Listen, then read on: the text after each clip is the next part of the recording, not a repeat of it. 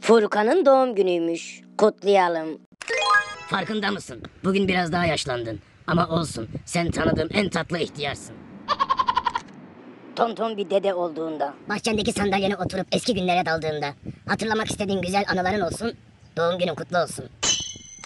Bugün mutlu olursun. Dertlerini unutursun. Doğum günün bugün senin. Daha ne diye somurtursun? Çözemediğim soruların cevabı gibisin. Anlamadım gitti. Sen nasıl bir sorusun? Havuz problemimi mi çözeyim bu saatten sonra? Her şeyi bir kenara bırak. Doğum günün kutlu olsun.